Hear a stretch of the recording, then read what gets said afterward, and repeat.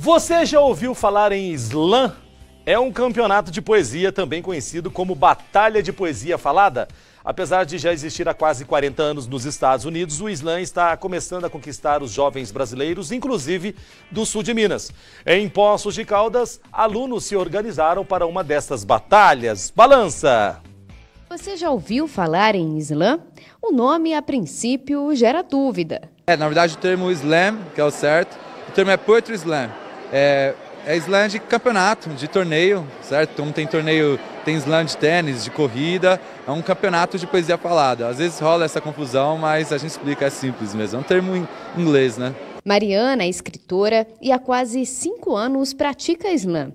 Em suas poesias fala das desigualdades e dos preconceitos. Tanto para ela quanto para Lucas, que vieram da capital paulista, o slam tem um papel muito importante, principalmente nas comunidades mais carentes, onde muitas vezes a opressão faz parte da vida de muitos jovens. Uma coisa muito peculiar no Islã é que como a poesia marginal periférica, ela acaba trazendo o protagonismo. Né? Então eu vou lá e eu sou a protagonista da minha própria história. Ninguém está contando ela por mim. E aí no, no Islã acaba tendo várias denúncias, é, várias situações que você acaba descrevendo, o racismo, a homofobia, por exemplo.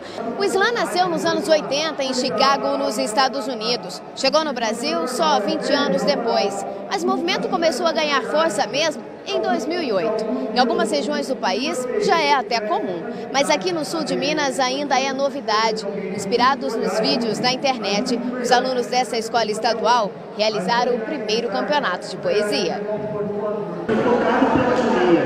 denegando meu próprio teto e passando pelas ousadias. Queriam que fosse apenas de momento, leves como uma folha ao vento. Sentimento de mudança, sentimento de esperança. E nem demorava, eu só queria ver de e sua família contente no final. Para os participantes, um dia especial, muitos deles se descobriram no Islã, fizeram das suas próprias histórias lindas poesias. Quando eu tento fazer o slam, eu tento transmitir tudo aquilo que eu tenho por dentro de mim, tudo aquilo que está passando. Antes eu ficava mais fechado, não conversava com muita gente. Aí foi a oportunidade de eu estar tá me expressando e as pessoas me conhecer melhor. Lídia emocionou os jurados e tirou uma nota máxima com o um poema que retrata o dia a dia e principalmente a infância dela. Eu sou uma pessoa que eu guardo muito assim as coisas, então as pessoas ali você tem que se expressar, você tem que achar um jeito de se expressar.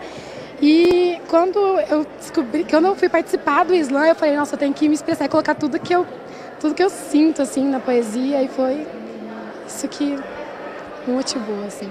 Vinícius é professor de português.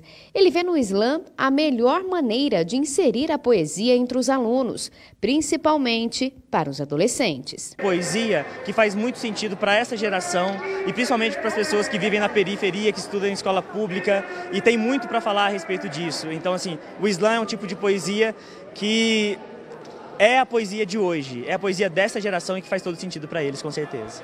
Para eles, nada de modinha. O Islã veio mesmo, foi para ficar. E eu gostei muito de fazer e eu quero continuar fazendo. Todo mundo tem algo a dizer, né? Todo mundo tem algo engasgado lá dentro, precisa soltar para o mundo.